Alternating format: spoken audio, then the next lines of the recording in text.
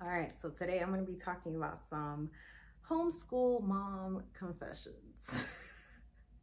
I may regret this. so as soon as daddy gets home, I send my kids to their dad for everything. don't tell him. I hope you don't watch this video. But I send them to their dad for it. They'd be like, Mommy, can I, can I have this? Can I have that? Go ask your daddy. Can I do this? Can I Go ask your daddy. Can I do this? Can I do? Go ask your daddy. I'm tired. But do you know how many questions I get asked a day? By the time he get home, I'm like, he needs to be asked some questions too. All right? so bad. I'm so bad. This video is a collaboration with my friend Katie over at Life in the Mundane. Her channel is an amazing resource channel full of tips and tricks and resources for homeschooling stay-at-home moms. I can't possibly imagine what this lady would have to confess about. I just feel like she's like goals. But check out her confessions because you know, they got to be good. My kids do two maths and three histories. I don't know if that's much of a confession, but it's true. Why do they do two maths and three histories? I don't I mean, okay, like I feel like it gives them a well-rounded like math and history approach. Yes, I do feel that way. I feel like it um that like one of their maths is more like mastery and the other one's like very much a spiral math and so they get the best of both worlds. They don't really care that they're doing two maths. They don't really care that they're doing three histories. It's more books to read. It makes our homeschool richer. I've got all the excuses but really it's just what we have always done and it works. So so we're just gonna keep on doing it. But i guess my confession is i ain't got no real reason why we do so much all right so if you've seen our video talking about our morning basket and all of our read alouds, you would know that um, we are doing a lot of read alouds this year. And my confession, I don't like read alouds. I don't like to read out loud. I get tired and winded. I'm pregnant now. I, I don't even got that much air in me right now. And I'm using all of it to read aloud to these kids. Um, it Sometimes the books are boring. My kids don't like how I read. They don't like how I read. They're like, Mom, can you read a little faster? They look, this. yeah, yeah, I don't like read alouds. I really don't. I don't, I, like, I don't like to read aloud. Like, I don't mind read alouds because I love, love, love, love Scribd and audio books and all the things.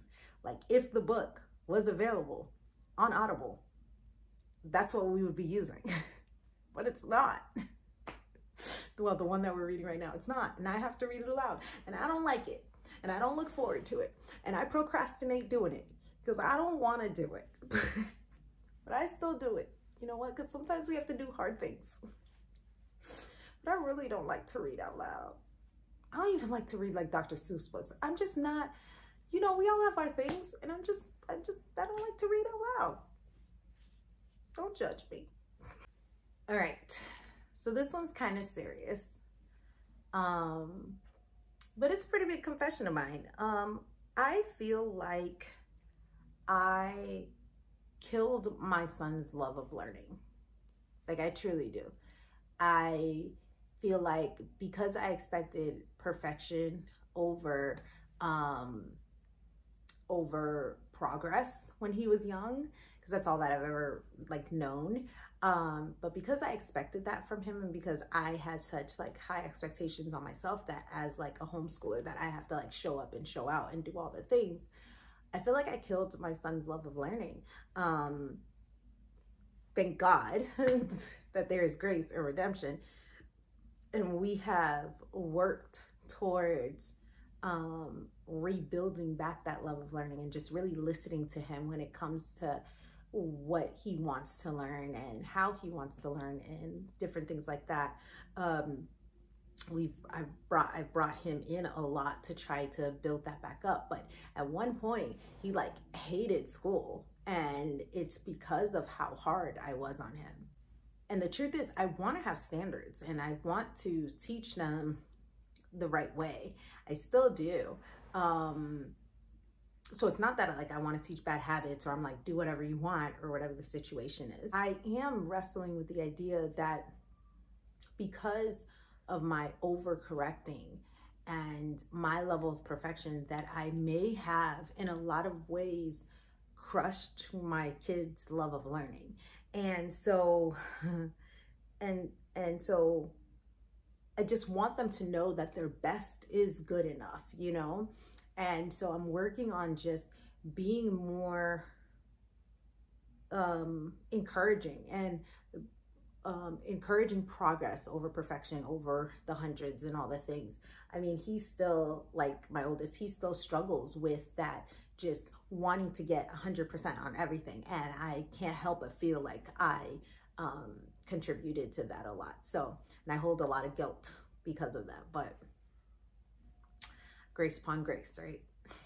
So I can't maintain my house and homeschool. Like it is a no for me. It is a no go. I cannot do it.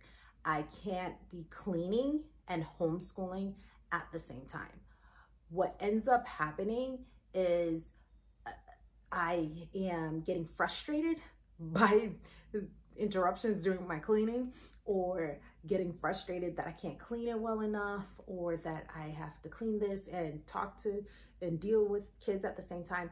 I can't keep this clean, beautiful house while homeschooling. Like my house, after we are done with our homeschool day, is like we need a pickup. Like if we do not pick up, this house is a mess. Like our house is a straight up mess while we homeschool. So all those Pinterest worthy homeschooling things that we see um during like all those Pinterest worthy homeschooling things that we see um they're not in my home. Like, no, not here. The house is literally trashed after homeschool. Like, we have to have an afternoon pickup in order for our house to like not look like it's just bad. It's just bad. Pencils, crayons, all the things, all the things. But I just tell myself, laser focus.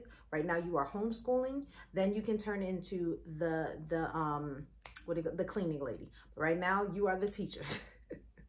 focus. Don't forget to watch Katie's video over at Life in the Mundane and see what her confessions are. And until next time, bye.